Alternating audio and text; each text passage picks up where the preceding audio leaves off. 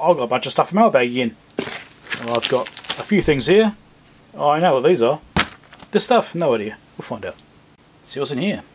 Don't forget to subscribe if it's your first time here. Or you might miss out on my future videos. You, you know, you might like this one and forget to subscribe and not find me ever again. So make sure you do that. What on earth is this? This looks like a industrial kind of drill bit case kind of thing. Ah! It's a little torque spanner. So this is meant for doing up like SMA connectors, although this is a bit more chunky than I was expecting. Yeah, so you've got an SMA connector, like on here.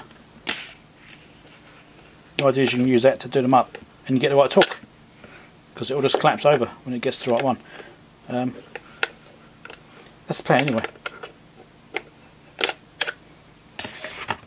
And it's got an adjustment in there. I've got no idea what adjustment range is. It was mentioned in the listing. But there's like an Allen key in here. You just do that up to increase the spring tension. So it's just because it's on like a toggle thing which pops over. Will go either way. It's got a detent here. And has got basically a ball bearing inside here which uh, pops into that detent.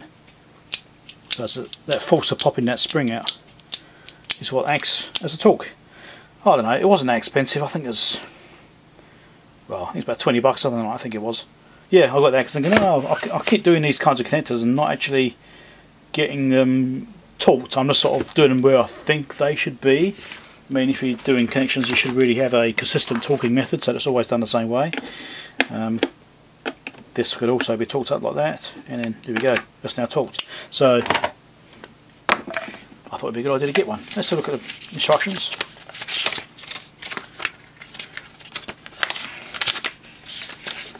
There's probably much better ones to use. Probably are better ones, but um, I don't want to spend a lot of money on this because up until now I've been getting away with it just fine.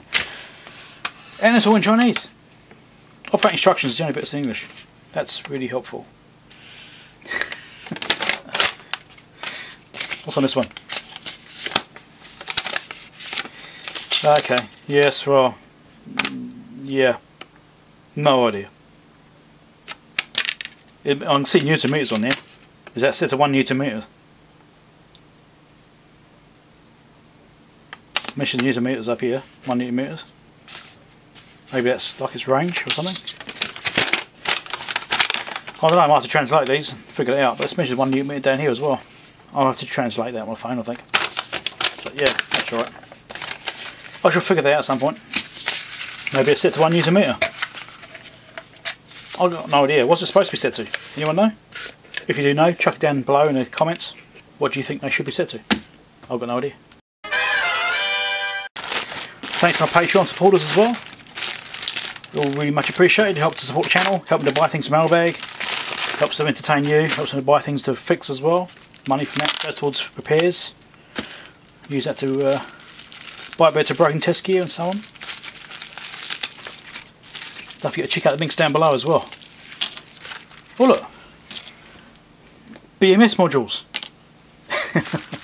so yeah, these are two cell BMS modules. I featured these previously on Mailbag because I've used these in, well, in these actually. So if I open it up, see there's one sitting in there right now. BMS sitting right there. So I've used them for that.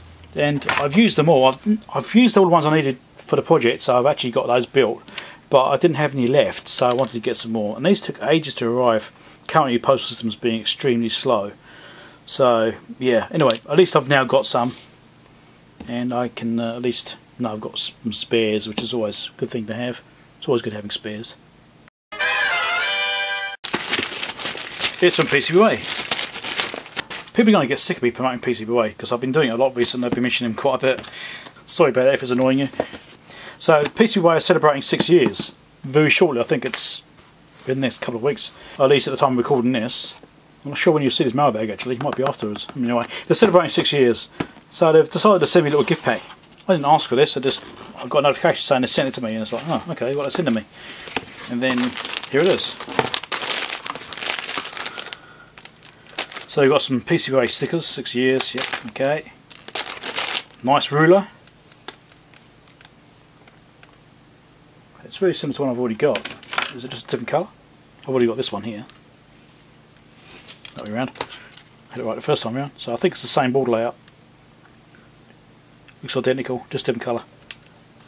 So I've got two of those rulers now, it's quite nice. Come in handy sometimes. Yeah, they're both the same layouts, exactly the same parts, so got a nice black one now. I think the black one looks a lot nicer than the green one actually. Because it's gold plated, eniged. So it looks really nice. That's good. And they're giving us a badge, looks like. Yep.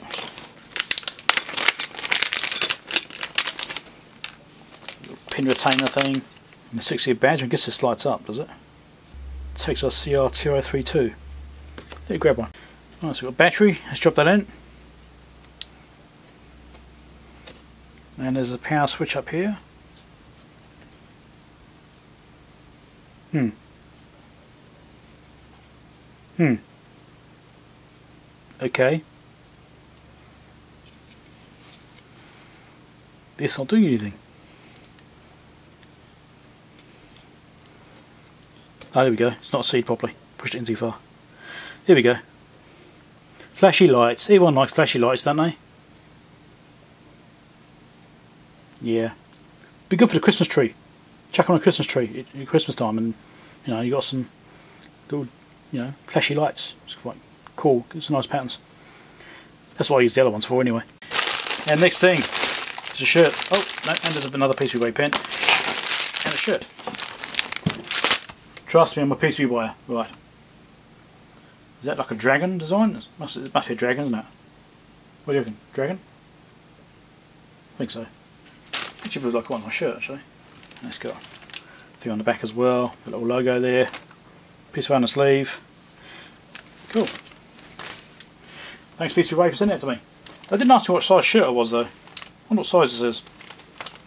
I'm not exactly slim. hmm. Let's find it actually. It must be a tag somewhere. Large. Yeah, it might be right. Large can be a bit tight on me sometimes. I used to be a large. I've got larger. anyway, that's how I fold clothes and my wife drives me nuts. Well, that's not right. It drives my wife nuts.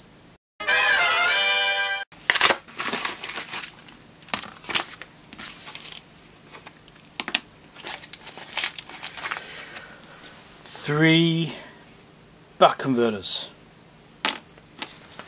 So these are 9 volt buck converters. These actually arrive quite quickly. I only ordered these about two weeks ago, I think, actually.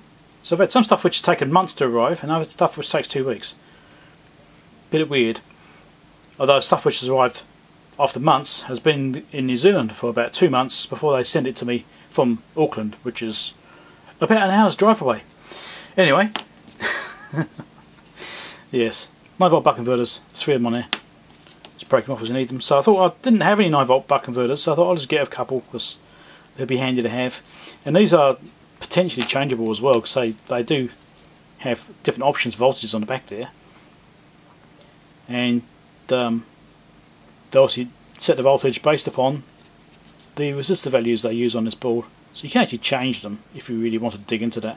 You can probably research the chip that's on there. Can we see what that is? MP1584EN. Right, anyway, not that exciting. Is what it is. Buck converter. Yeah. Don't forget to check out the links down below for these items. I usually have links down there. So fuses, little glass fuses, 0.1 amp, so 100 milliamp fuses. I did buy a whole bunch of fuses about two months ago, and it's obviously only these ones only just arrived. I purchased a whole bunch of different ones, and I realised that I've got things like these Datrons which use a very small fuse. And I didn't have anything small enough, so um, I've had to like up the rating basically by double in order to um, fuse. And I think oh, I should get a selection of small fuses. So now I've got a selection of small fuses. Well, a couple of small fuses. I've got more coming. Yay! Finally! These are probably the replacement ones I purchased. Yeah, there'd be 10 in there. So yeah, these are the replacements. So these are these sockets I was talking about before for these things. Right, well, I need to put sockets on these to finish the project, right? These and the, and the power supply section. And I ordered 20, haven't arrived.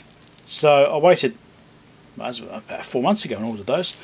So I ordered 10 more, they've now arrived, and that was two months after the first lot. So the 20 I originally ordered disappeared, and the 10 lot I bought purchased as replacement has at least arrived. So I can finish doing some of that at least.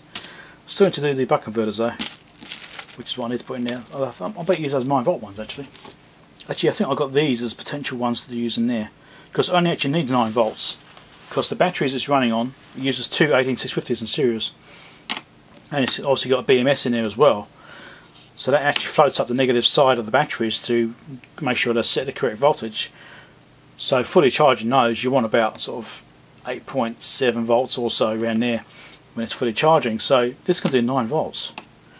So I think I actually did intend to get these to put in here instead of having variable ones. Like the other ones I built I have variable adjustments in there so I can, I can tune the voltage inside which is supplying the BMS so it's only doing minimal work so it's not overloading the voltage too much, it's not floating up too much so I've got a bit of a cushion there but I'm setting those around 9 volts, those variable ones which is why I think I've got these ones I might just use these actually so it means I've probably got the stuff I need to finish doing those which is great wanted to finish those for months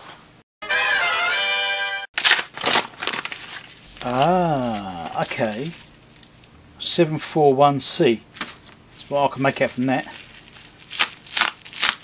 Might need to use real knife, we'll see we go. Oh no, here we go. So here are four MAA 741C. These are op amps. They've got gold leads on them. Quite nice ones. Apparently new old stock. But you never quite know, do you? They could be fake, they could be real. Don't know. They look the part. I don't doubt them actually. They look about right. I think the Datrons had one of these and yeah, Datron's got something like this in there. I think it had a different version. This one's got gold leads. The Datron ones I think didn't have gold leads, but it's a variant of them. So I got these in case I needed them for that. I think I already had something similar anyway. They weren't that expensive. I think it was like 20 bucks for the lot, something like that. Maybe slightly more. So I thought I'll get them because I probably need them one day for something, even if I don't use them with the Datrons because I like to get spares when I can see them and hopefully have them for the future because who knows what I'll be fixing next week. So I already know what's in here. It's a little bit different. Hope there's no invoices that are going to fall out. Okay, Z442 oil filter, Z411 oil filter, a A1348 air filter, and an A360 air filter. It's time to service vehicles actually well overdue actually to be honest. One the vehicle that uh, this air filter and this oil filter are for we've had that vehicle now for about a year and a half and I kind of haven't got around to servicing it yet. so it's probably you know, well and truly due. So I need to do an oil change on that and that sort of stuff. So I found a site locally in New Zealand which will sell these without problem. So um, I was actually browsing for them actually. I was trying to find out what filters the vehicle needed. And the site popped up. I thought, oh, I might as well get them from there. I mean, sure, you can buy them from like auto parts stores, stuff like that. So I thought I'd just, I couldn't bother going to a shop to be honest. Order them online, why not? Wasn't much more. And these ones here are for my car. Now, I already actually had some spare ones left over, so I serviced my car last week. But I like to have some ready for the next time I want to service it. So now I've got a set here ready for the next service for my car. I also need to do my motorhome, that's due as well. Yeah, I'm not going to record videos doing that, you know, I'm not a Mechanics channel. Although I do have some videos recorded on other repairs for other things I've done. And stuff which I haven't published yet, I've got a whole bunch of videos there for like lawnmower repairs, stuff like that. So maybe I'll do those one day if there's interest. I don't know, maybe it needs a second channel for that, I'm not sure. Or third channel, because I've already got a second channel, which is my dashcam stuff. Lots of swearing in those videos, so just warning. Anyway. yeah, oil filter's not that exciting but at least now I've got stuff I'll service that car. I might even do it today, seeing the weather's alright. We'll see how we go. So if you found it interesting, give us thumbs up. Subscribe if you've not been here before. All the usual stuff, you know. Check out the Patreons, which are supporting my channel. Just they come up next in a minute and you'll see a big list of them. Help me to buy things in my bag and apparently help me to service my car too. Check out my playlist at the end of the video. Check out some more videos, watch some more stuff. Watch more. Always watch more. And um, yeah, I fix stuff when I'm not doing my bags. Bye.